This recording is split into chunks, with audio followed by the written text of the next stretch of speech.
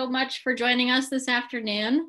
Um, my name is Ania Wright. I um, am a youth activist in the state of Maine, and I'm really excited to be your host this afternoon.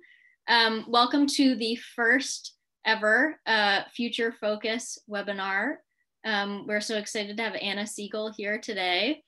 Um, Future Focus is a new webinar series that is being um, brought to you by Maine Audubon, Maine Climate Action Now, Maine Youth for Justice, uh, the Maine Education and Maine Environmental Education Association, Maine Environmental Changemakers, and Southern Maine Conservation Collaborative.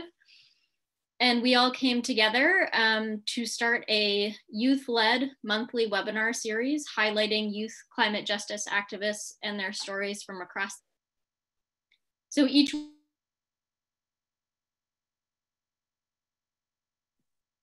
sorry, got muted for a second. Um, each one hour session will focus on a different individual and the intersectional leadership work that they are doing in their community and beyond. And so we're so excited to have Anna as our first, uh, our first panelist. Um, and please uh, sign up for our future webinars. We have um, Amara Afiji on December 1st, talking about uh, using education to mobilize. And then we also have Sarohi Kumar coming on January 5th to talk about uh, climate emergency declarations. And so with that, I will pass it over to Anna to get started. Um, again, thank you all for being here. We're gonna ask everyone to stay muted and to keep your videos off while Anna is speaking. And then we'll have some time after Anna's done um, for discussion and question and answer. Um, and, and we'll let you all turn off your or turn on your on your sound then. So sit tight. Um, Anna, we're excited to have you, and I will pass it over to you.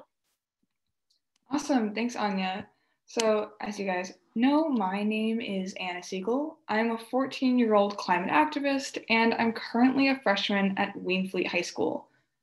I am the co organizing director of Maine Strikes, a core member of the statewide coalition Maine Youth for Climate Justice, part of the Sierra Club Maine political team, and a member of the Emergency Management Working Group on the Maine Climate Council.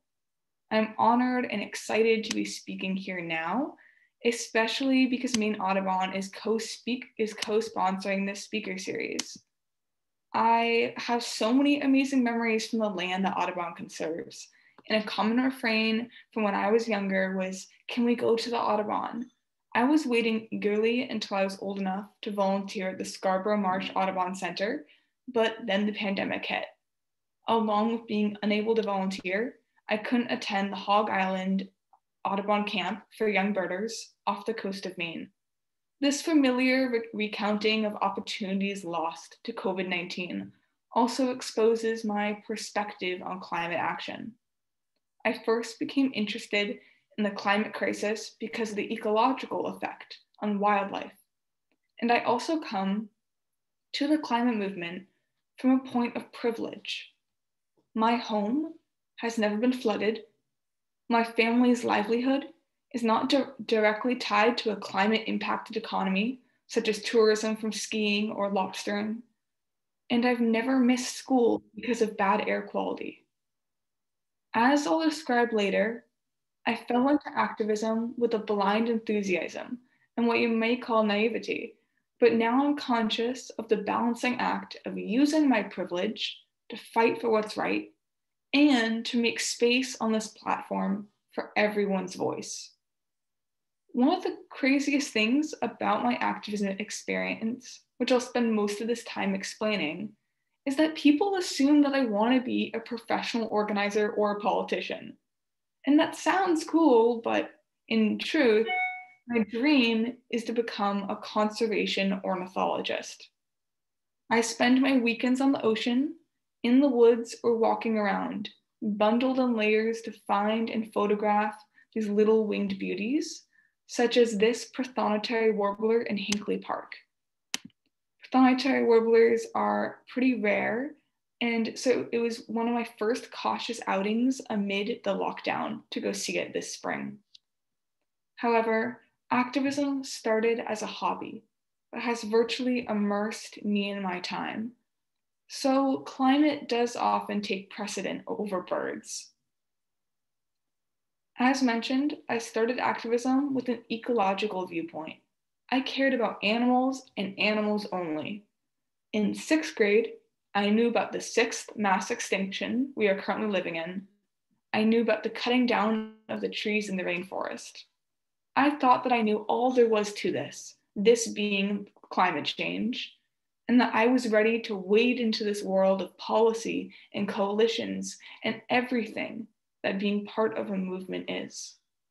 Sixth grade me believed that the solution to the climate crisis was electric cars, composting, and reducing plastic. My very first action related to climate was a petition launch party where we gathered at City Hall in Portland to get signatures for a petition around emissions reductions that would be submitted to the Maine Department of Environmental Protection. I was incredibly nervous, but had been encouraged to speak about birds by my teacher at the time, 350 Maine volunteer and lifelong activist Lee Chisholm. I have a very distinct memory of the speaker before me talking about environmental racism, and I thought, what does that have to do with any of this? Why aren't we talking about, you know, devastation in the rainforest? Why are, why are people involved? I wonder what I would tell my sixth grade self now.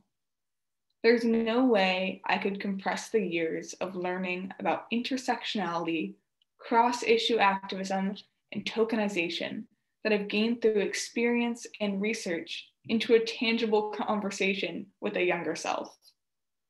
However, I might be able to explain it here. It was the October 2018 report from the Intergovernmental Panel on Climate Change that made me realize the climate crisis wasn't something happening to a polar bear in the Arctic or a tiger in Asia. It is immediate, urgent, and something that harmed a group I hadn't considered people. And not people in a few decades, not future generations, people right now. That report, October 2018 report, was the report which stated that we have 12 years to put the brakes on greenhouse gas emissions, or else we'll cross a threshold that we cannot return from. It is now 10 years.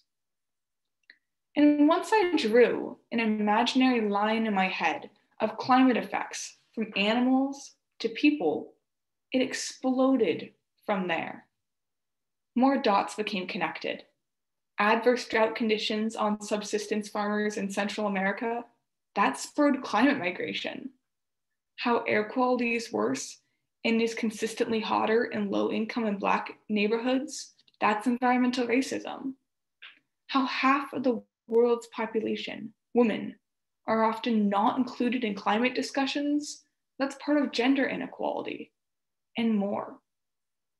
All of this formulated into the concept of climate justice, where social equity and climate action go hand in hand.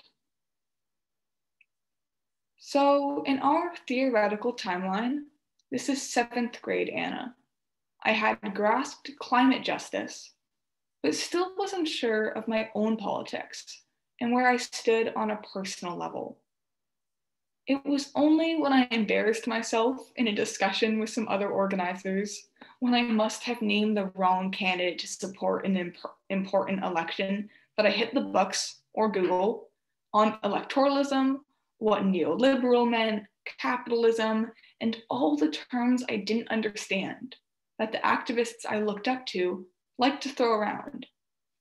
In short order, I became a die-hard Bernie Sanders fan, spouting off about leftism, systems of oppression, and how we must tax the rich.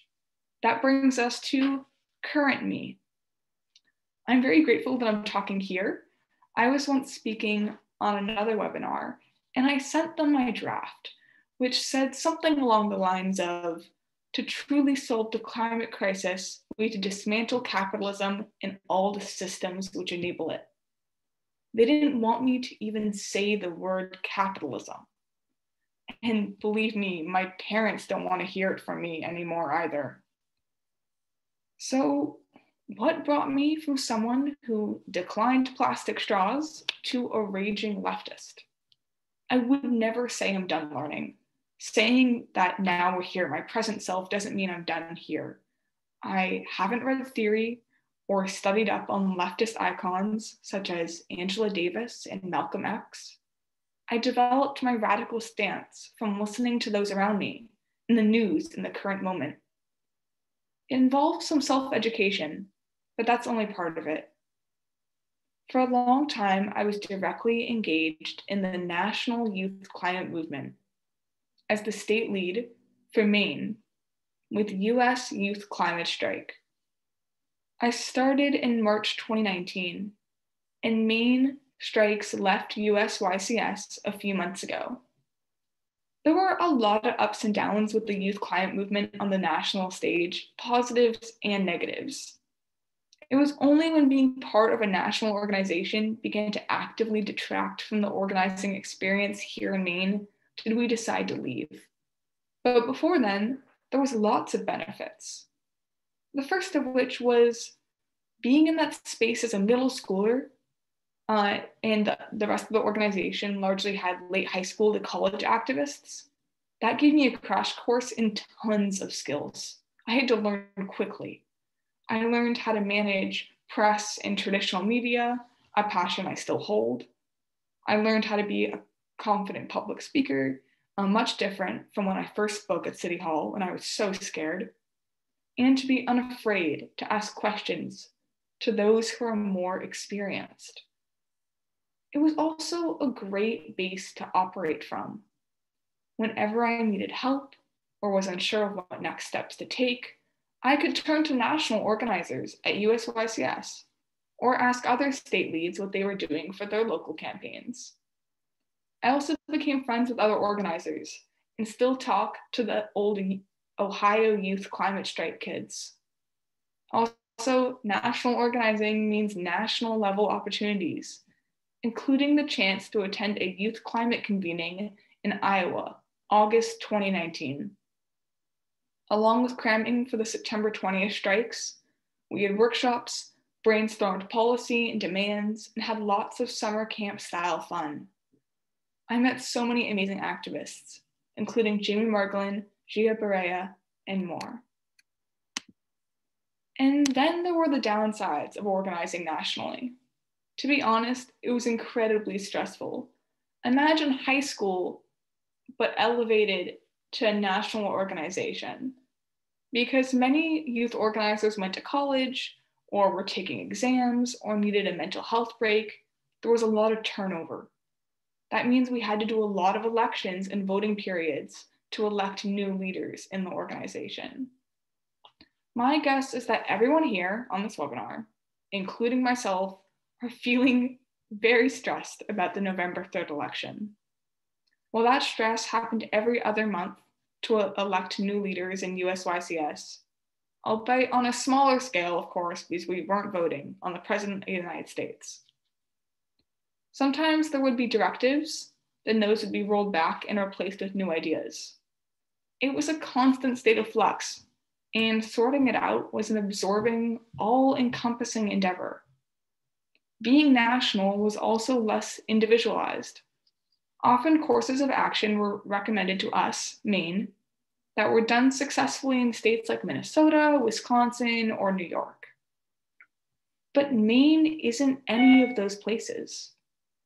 By leaving USYCS, Maine Strikes and Maine Youth for Climate Justice organizers and I could focus on the campaigns that work right here in the namesake state and the place we are fighting to protect.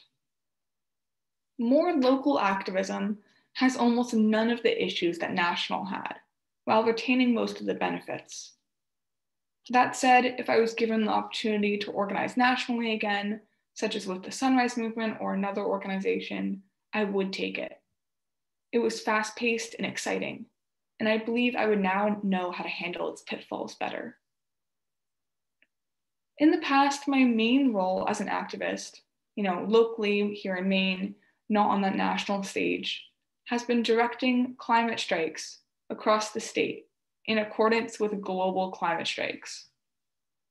Although I've been an activist since sixth grade, I wasn't actively organizing until right before the March 15th global climate strike. That was when I was thrown into the role of the Maine state lead for US youth climate strikes in late February, barely a month before the strike. That strike was more of a general call for action, a declaration of sorts. The youth are here and we are angry. Those initial rallies stated that we wouldn't and refused to be silenced. That strike had around 1,500 youth involved across the state. The next one was April 23rd, the Youth Day of Action in Augusta. This was Maine Youth for Climate Justice's first official action as an integrated coalition. A couple hundred youth came to Augusta to lobby their legislators and demand that youth be involved in the Maine Climate Council, because youth should be involved in every level of government. That is how I came to serve on the Community Resilience, Public Health, and Emergency Management Working Group, and my facilitator on your right is on the council itself. After an inactive summer of organizing, the next strike, September 20th, was an explosion of energy. Over 2,000 people showed up at City Hall in Portland, and 1,500 more across the state. This picture is from Norway, Maine, asking for one thing that the cities of Portland and South Portland declare a climate emergency. The climate emergency resolutions for the two cities passed less than two months later. The last in person strike we held, apart from the Earth Day webinars and virtual actions, was March 3rd. On March 3rd, we endorsed Bernie Sanders for president and handed out climate justice scorecards on the presidential candidates to potential voters in various cities. Embarrassingly, Pete Buttigieg and Amy Klobuchar dropped out of the race a few days before that strike so we had to explain to every single person that no, we couldn't reprint 200 scorecards in time. They still had Pete and Amy on them. These climate strikes are more than just gathering a bunch of kids together and chanting. All of Maine Strike's events are driven with intention, which means they are centered around a specific demand, such as divestment, climate emergency, or a certain piece of legislation. They also work to instigate climate action in local areas and develop our teams. They also provide certain frames of reference. You can tell from how I've been talking that activists tend to talk in terms of dates and numbers. Did we do this before or after September 20th? What was the effect of March 3rd? The last strike was April 23rd. We that's how it always is. And often those numbers can get jumbled up. But of course, because of COVID 19, we have not been holding strikes statewide, though some of our individual teams have done safe actions with low numbers. As exhilarating as climate strikes are, leading thousands of students in songs and rallying cries, I honestly prefer the quiet and steady satisfaction of climate emergency campaigns.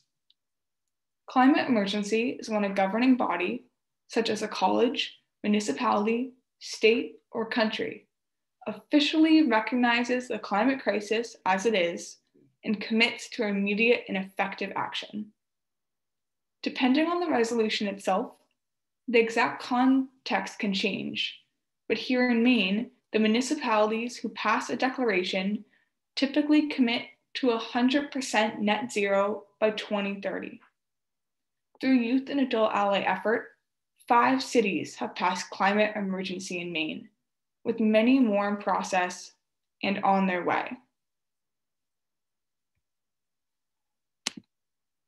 Just talking about climate emergency makes me really excited. As you can see here, these are headlines from different newspapers. Well, they're all from the Portland Press Herald, but from the different towns. So we have the Saco students who declared climate emergency. Then we have Brunswick, um, and then this was from one of them is from December when we asked when we announced our intent for the state to do so, and then also for Portland. And so it climate emergency makes me excited because now just talking about it, I'm thinking of how I have to see who can add public comment when the Bangor city council votes on their regis- resolution, touch base with the Yarmouth students to submit their resolution to our council meeting, and ask Belfast what they need. I'm thinking of all these different campaigns. Each city or town takes a different process to declare a climate emergency, from getting the Portland mayor to promise to do so under pressure from youth on camera, to older activists educating middle schoolers on how local government works in Saco. Climate emergency looks a little different in other places. For example, in New York's in New York City, the resolution they passed about climate emergency banned all new fossil fuel infrastructure instead of asking the city to be 100% net zero by 2030. Um, the reason for this in Maine, we would do something like that, except we don't really have fossil fuel infrastructure because there's not really fracking or drilling for oil in Maine. So instead, we're asking them to commit to these bold reduction goals. Even though I love climate emergency work, unfortunately, we can't always do the work that we love. More and more, I've become wrapped up in electoralism, which is the strategy of trying to elect certain candidates to get what you want done politically. I've always denounced that as ineffective activism because I don't believe we can rely on putting so so candidates in positions of power and hope they will actually care about the communities they trod on to get to their position. However, somehow I've become the go to person in Maine Youth for Climate Justice when it comes to candidates and purely political efforts. I don't really mind, but it's quite odd. I didn't intend to be in this position. It really started with Bernie fervor.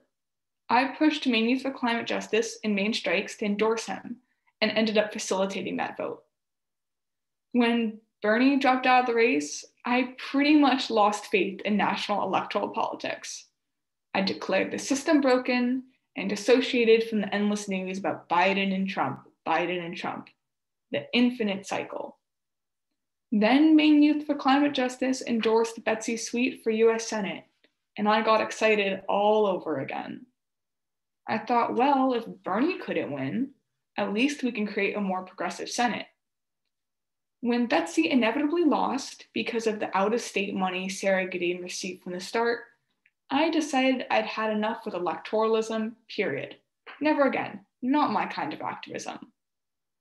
That didn't last very long.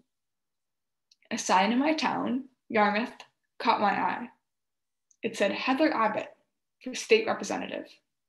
And there were more Art Bell, Jennifer White, it occurred to me that the national ba- battles that we are seeing in the news are also played out on a local scale. I had grown up seeing these signs, but I always associated them more with the seasons than politics. In the fall, as the leaves fell down, the signs went up. They were gone by the time of the first snow. Not this year. I don't know if you guys saw, but it's going to snow on Friday, which is insane. But this year I did some research uh, this was the year ballotpedia.com became my best friend. And I discovered that local candidates are incredibly important. When Heather Abbott lost her primary, it didn't crush me the way Bernie and Betsy losing did. That's because I led a project for MYCJ where we endorsed candidates across the state.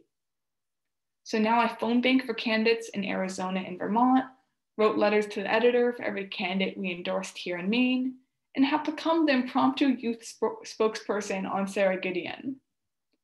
And I don't believe in or even like electoralism. I get a lot of questions about Joe Biden and Sara Gideon. On an organization level, neither Maine Strikes or MYCJ will be endorsing them at this point because we previously endorsed candidates for both races. Personally, I don't feel comfortable directly advocating for either of them without critique. I understand that Donald Trump and Susan Collins are much worse, of course, but it is a sort of lesser of two evils situation that doesn't feel like democracy. Settle for Biden and vote blue no matter who rhetoric is incredibly harmful to the communities and individuals who are harmed and have been harmed by these candidates and the two party system. That isn't to say I'm not just as scared for the election as all of you are. Despite my hesitations, I will be text banking and I have been text banking for the Biden campaign. I have been speaking a little bit with Youth for Biden in Maine and more. I feel as though youth activism activists had to go around like old prophets with bells and gloomy hoods, hollering the end is near to get people to pay attention to us. Unfortunately, this only exacerbates the climate anxiety we already have. As I remarked to Ania the other day, anxiety practically comes in the youth activist starter pack.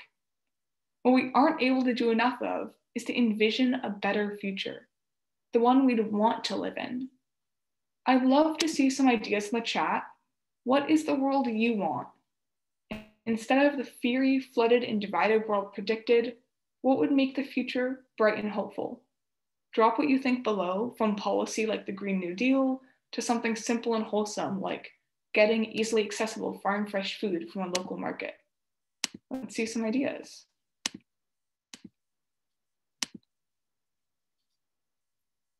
And if nobody has anything, it's okay too.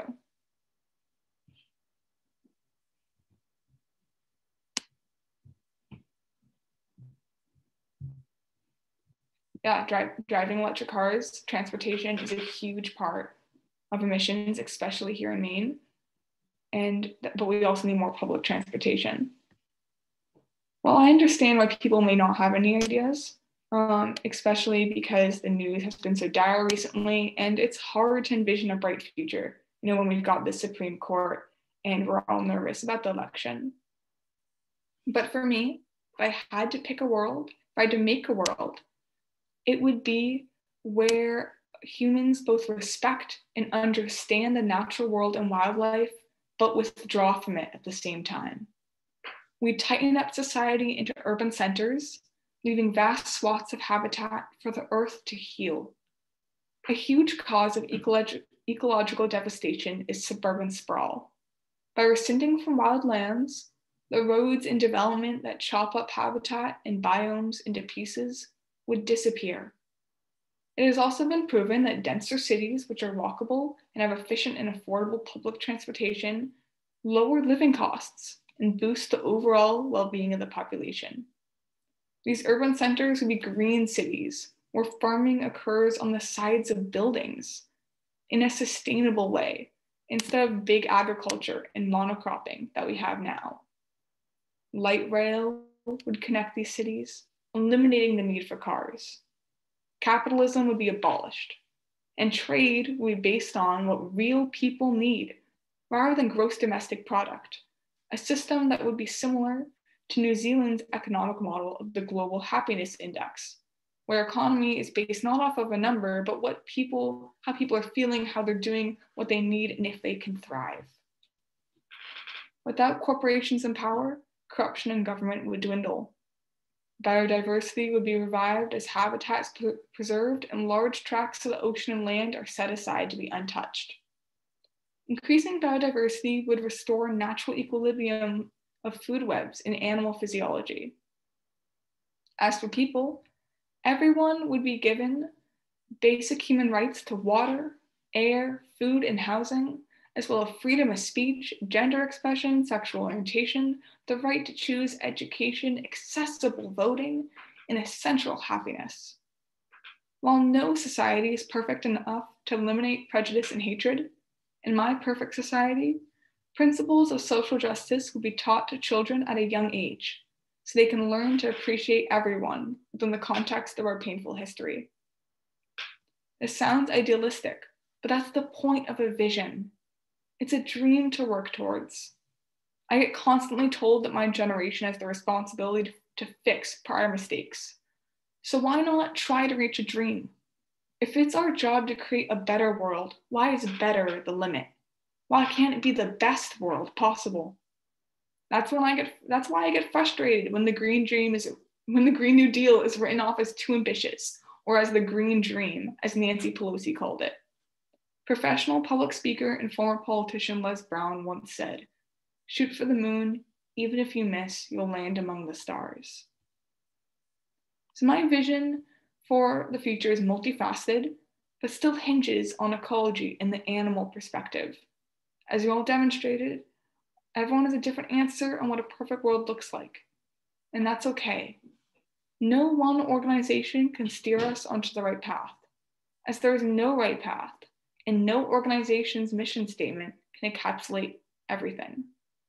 Only everyone working together, raising their voice about various issues, reminding others of people that are underrepresented, can reach that perfect world. It may be messy, arduous, and unsatisfyingly inefficient, but it's that kind of grassroots activism and gritty fight that is the core of democracy, or what democracy should be. So now that I've talked at you for a sufficient amount of time, Ania here will ask me some questions and then we can both talk at you. As Ania and I are chatting, feel free to drop any questions you may have in the chat, or when we're done, you can also unmute and, and directly ask. This could be about me personally, such as was I ever scared of public speaking, or what is school like, about activism or politics, or even about birds. Really anything. Part of the intention behind this webinar was to make it more personal and familiar instead of like an uptight businessy sort of thing, which is why this is a regular Zoom meeting instead of a Zoom webinar format where I can't see you and you can't speak. That's also why we are here in my bedroom. So ask away in the chat or speak up, and Ania will start with some of her own questions to give you all some time to think. Thanks so much, Anna. Um, thanks so much for all your words. And um, it's so fun. Anna and I have worked together for like almost two years now doing activism work. Um, but it's not often that like we really share our real, true, like long, in-depth stories with each other. And so, Anna, it's been a treat to just like sit and listen to you and um, hear more about how you got interested in in activism and how you got involved. Um, so thank you. Um, and yeah, everyone feel free to start popping some questions in the chat if you want. Um, Anna and I are gonna talk for like 10 minutes and then we'll just open up the floor for questions. Um, but Anna, I'm curious, a lot of your talk was maybe a way of looking at climate action in a way that's different than sort of the traditional um, like conservation or big green uh, organization, or I guess how like environmentalism has looked in the past. And so I'm curious. I mean, you talked about your journey from going from recycling to you know a more radical justice activist, but I'm wondering if you have any advice for folks um, or thoughts about how to um, I guess like start that journey or start that understanding. And that could be, you know, like if you have books that you've liked or, um, you know, webinars that you think are good, but just, yeah. Yeah, definitely. I'd say apply your passion to the wider context of the world. For me, obviously, it's birds. I'm looking out at my window. I'm seeing pine siskins. I'm seeing tufted titmice. I'm seeing chickadees. And I did that for a while. And then you know, when you're when I was on these walks with all these birders, um, they'd be talking, you know, they've seen many, many seasons of migration. They talk about how migration wasn't the same. They talk about how there's no boreal forest anymore, how we aren't seeing, seeing the same numbers of diversity, how we're getting mid-Atlantic species because Maine is now warm enough that species from more southern states are coming here. And that, you know, that really got me thinking when I was a little bit younger and wondering like, is this is this normal? Like, is this, are just things just shift year to year? Or is this, and then reading about this and learning it's part of this trend. So applying your passions, you could be really into gardening, um, you could be really into public health, and applying your passions and seeing how that fits into the way of the world because when you know when it comes to public health we're seeing lyme disease marching into maine we're seeing worse air quality actually um, coronaviruses are more easily spread in the kind of world that climate change is creating. Um, we're going to be seeing more pandemics because of climate change. So that's those that's just an example of it's never fun to do things you don't want to do. So if you have something that you love doing and you want to get into activism and you don't know how use the thing you love to get into it. And then as for books, um, I Jamie Margolin just wrote a book called Youth to Power. It's specifically for youth activists, but I think it also has great lessons for adult allies. Um, and I'd say anything um, anything by Bill McKibben is amazing. Thanks. Yeah, I like that thought of um, following your passions and following what you love. I think I think a lot about um, how like climate change affects all of us in some way. And um, figuring that out for ourselves is a really good way into into climate activism. Um, for me it was a lot about like my love for the outdoors and being outside and realizing that those things were changing and going to change. And um, so yeah thanks for that answer um, also, I haven't read Jamie Margolin's book yet, but it's on my list. um, so there's a question in the chat, um, and it is about, it's probably a question that you get a lot, but how should folks get more, how should people learn about um, Maine strikes uh, so that they can participate and let their friends know? Yeah, so as I said, we aren't currently doing climate strikes, but we will be in the future, hopefully when we can gather and, and people started doing some safe strikes. Um, and you can find out when they're happening. It's at Climate Strike ME on, on Instagram and Facebook. We post a lot of our events. Um, also, Maine Youth for Climate Justice has a newsletter, which you can join by emailing Maine Youth for and I'm putting this in the chat, justice.com. And, um, and beyond the global climate strikes, we do other sorts of actions and they're all demands based. So there could be actions to have a town declare a climate emergency and things like that. So all those updates come from there. Thanks, Anna. Um, we had a question from Jess in the chat. Jess, would you be able to ask your question? Yeah, sure. Thank you, Ania, and thank you, Anna, for this great um, time with you and your sharing. Um, this is really awesome. So my question for you, Anna, is um, why is it important that youth be involved and listen to, and sort of what what is the added value that youth the youth voice brings? And so, sort of looking for like an articulation of what you see that being so that you know just sort of like to change the frame and think about um, creating movements and systems that allow for that amplify it and and sort of support it. Yeah.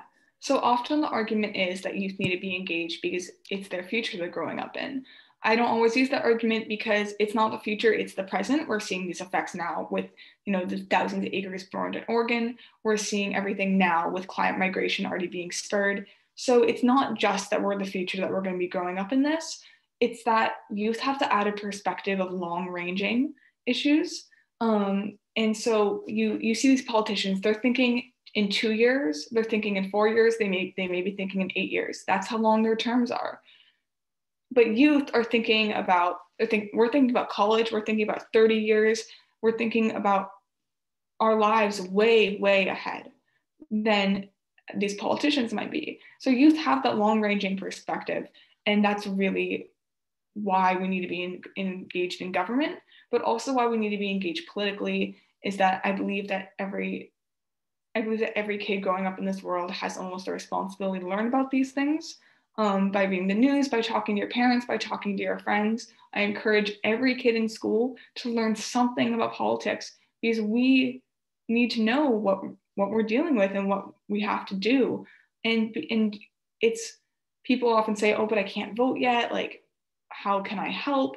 But if you educate yourself, then you're able to do other things because I've been doing all this and I can't vote. And so I think that it goes beyond voting, especially if you're doing non electoral work. So, yeah. Thanks for that question, Jess. Um, I think we can just transition into into opening it up to the group. Um, and if people want to turn on their videos, you're welcome to. Um, Lisa, I saw that there was a question from you in the chat, and I don't know if you can turn on your audio, but um, you're welcome to ask it. I can't be seen very well, but there we are. Hi, Anna. Hi, Ani. Um, so Anna, my question in the chat was, how did your education support you in your activism? Yeah, I love talking about this. So I went to Friends School for middle school. I went there from fourth grade to eighth grade. Um, and I'm currently at Waynflete High School, but I haven't been there for very long. Um, also been half online. But so in Friends School, when it really started, um, it was there was a lot of individual support. So as I mentioned, my teacher Lee Chisholm really got me into this. Without him, I don't think I ever would be here. I've always believed that I would be an activist in some sense just because it's kind of I'm, I'm a very opinionated person it's kind of how, how i'm geared so i feel like i would do, be doing activism somewhere maybe about gender equality or lgbtq rights but maybe if Lee had never been in my life, I never would be where I am today, which is crazy to think about. So it was that was a huge source of individual support. But education overall, Friend School is very nature-based and community-based, um, which I think was a perfect way to bring together these ideas of environmentalism and social justice, which creates climate justice. Because at Friend School, we talk about integrity and community and inequality and all these ideas of how we need to be working together. But then we'd also be outdoors all the time. And you can't fight for something unless you have a connection to it. So by getting, you know, all of us outside and getting us on these field trips, being outdoors, that really helps foster. I think I noticed all the younger kids were super like there were these third graders being like, we want to go on a climate strike. And it's because Friend School would take these kids outdoors. So that's super, super important. And it's part of what the Maine um, Environmental Education Association does.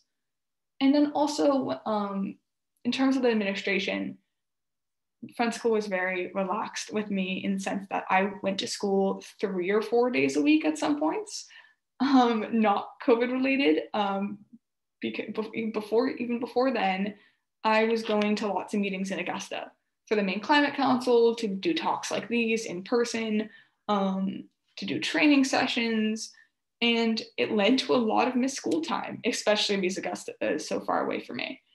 And they were really, they were really calm about that. Um, and I don't think, I can't think of another school that would just let me leave to go talk to legislatures. Like that's amazing. Um, and my current education at Waynflete, I'd say that they really foster um, dialogue around current events. They give a lot of space for that, and they give a lot of space for healthy debate and discourse but I haven't been there that long, so I can't comment too much about how that's fostered activism. Thanks, Anna and Lisa. Um, David, I'm seeing your question next, and I'm wondering if you want to ask it out loud or I can also read it. But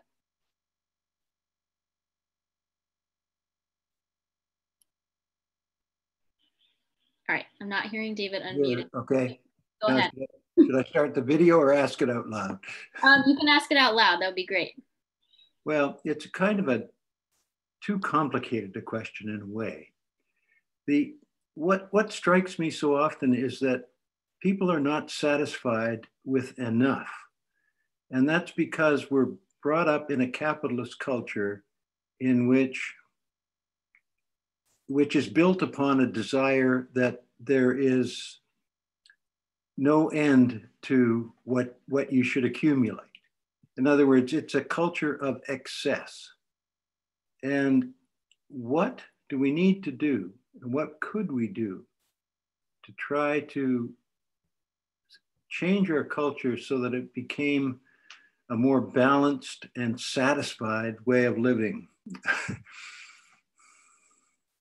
that is an excellent question. And I'm I'm so excited when I'm older and I'm taking college courses about this and I can apply, like what Lisa was saying, I can apply my education much more directly to these things by taking economics courses and, and taking courses um, in environmental policy. But from what I know now, it's really putting more emphasis on equity over equality.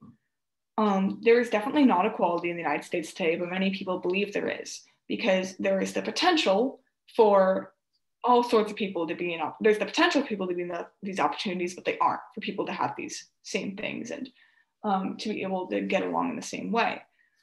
But there needs to be more focus on equity rather than equality because equality means everyone has the same thing. Equity means everyone gets what they needs. And that's what this is all about. We want everyone to be able to, to thrive in their own unique and individual way because when it comes down to the United States and the world at large, everyone is unique individual, finding their own way through life, has their own historical baggage and context that they have to deal with. And without the idea of equity, that we cannot get through. And a good um, visual representation equity, which you may have seen, is there's a fence and there's people three different heights. And equality, they're all given one box to stand on, and one person can see and the other two can't uh, equity is where first person doesn't need a box, second person needs one box, and the third person needs two boxes, and then they can all they're all able to see over the fence. And so that's really what it comes down to is the idea of gearing an economic system towards what people need, what they what they need to have, how they can thrive, and how they can live their best lives, rather than what are we importing, what are we exporting, what are the numbers, how what does the wavy line on the stock market look like? That, that shouldn't matter. That wavy line shouldn't matter. The fact that matters more than real lives is the problem. And again, I'm, I'm excited for when I can give a more specific answer about economic systems um, when I have taken those kinds of courses and I can do more self education. Thanks, Anna. Um, Juanita, I'm seeing a question from you in the chat, wondering if you want to ask it out loud.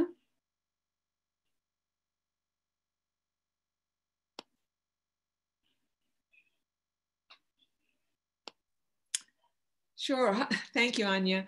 Um, Anna, it's nice to meet you, and I hope to see you at Hog Island next year. I just live up the road from Hog Island. Um, but I was wondering, uh, is the group that you're working with, working with the indigenous population who are the real masters or not masters, but the real knowers of how to value life, land, and people. And they've been here for over 15,000 years, so they have some experience. Yeah, that's an excellent point. As I, I was saying earlier in response to one question from Jess, that youth have the long ranging perspective. Well, you know, indigenous people of Maine um, often have the belief of seven generations, so even a longer ranging perspective. Um, and yeah, so we have we collaborated with um, indigenous youth, indigenous people, the especially the Wabanaki people, um, a few times over with uh, we hosted a webinar with um, the the Senate candidates, including Betsy Sweet, um, Tiffany Bond, and Lisa Savage, um, and brought forward some questions from the Indigenous community.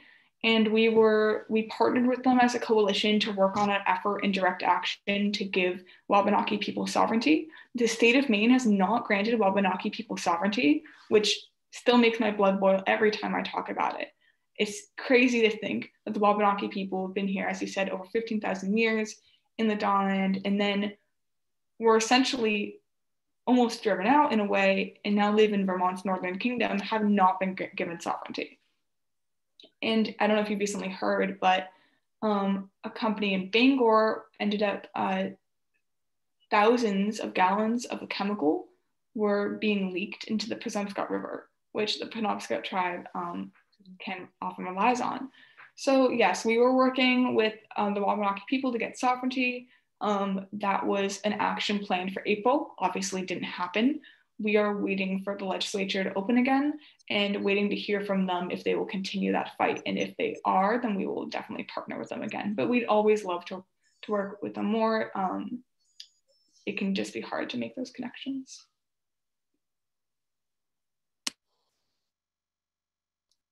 Thanks, Anna. Uh, there's another question in the chat from Amelia and Ollie.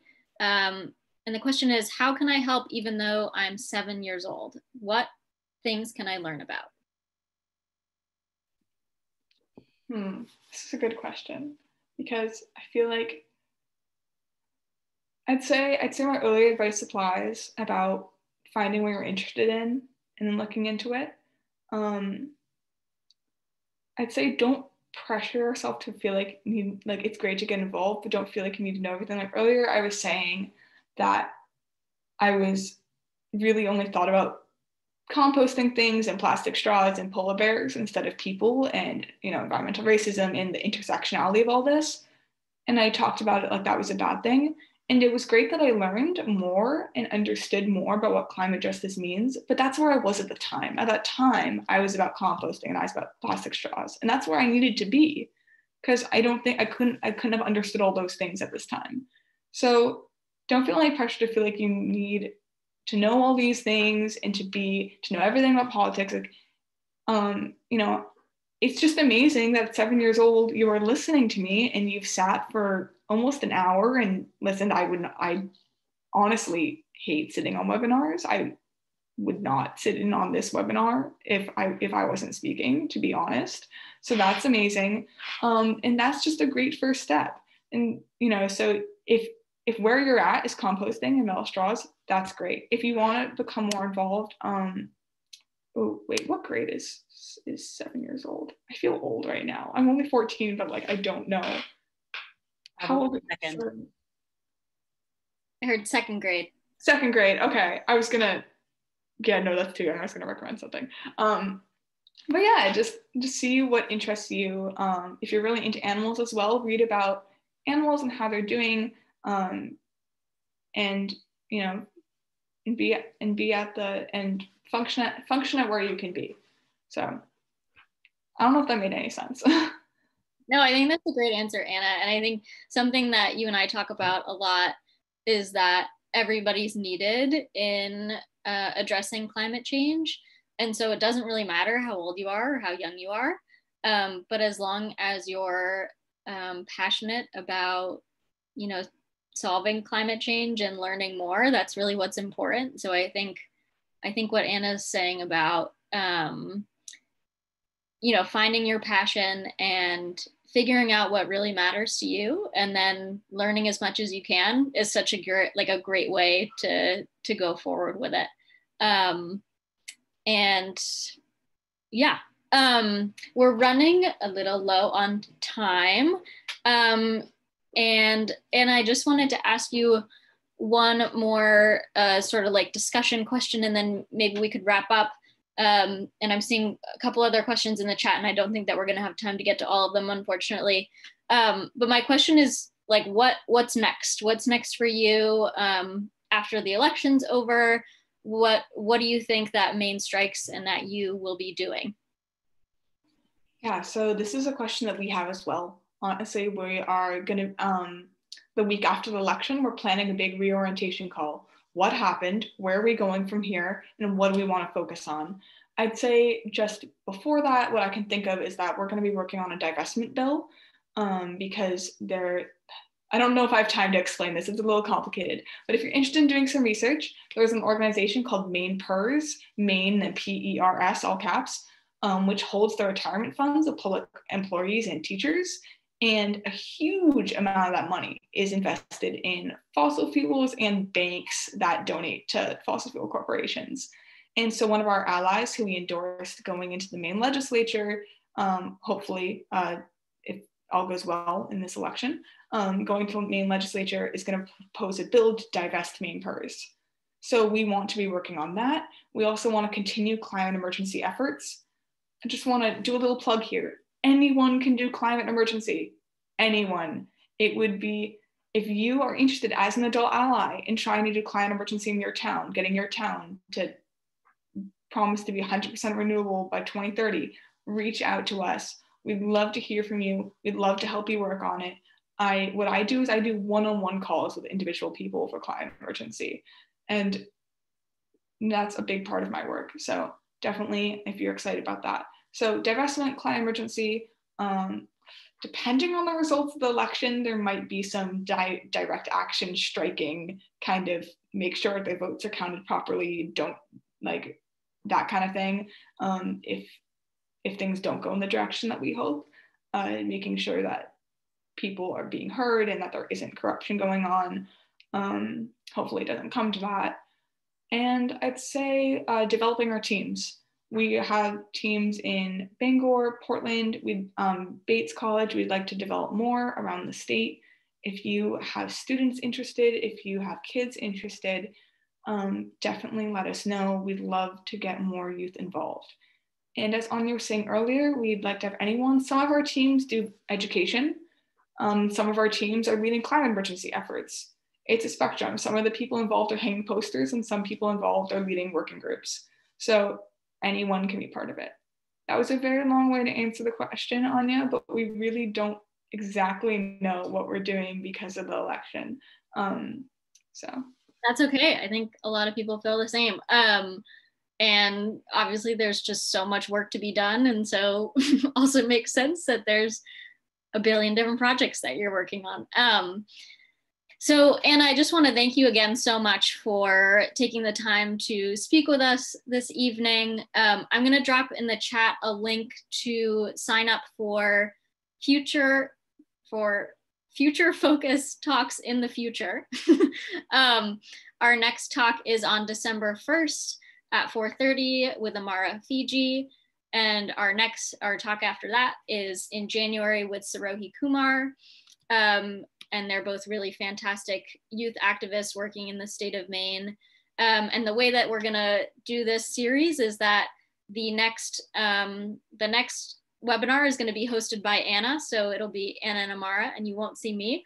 Um, but we're just so excited to have you here. We hope you'll come back next month. Um, and thank you all, and have have a great night. And thank you, Anna. Thank you all. Also, this is being recorded, so it will be viewable on Facebook and other in the in the Future Focus website. So, yes. You.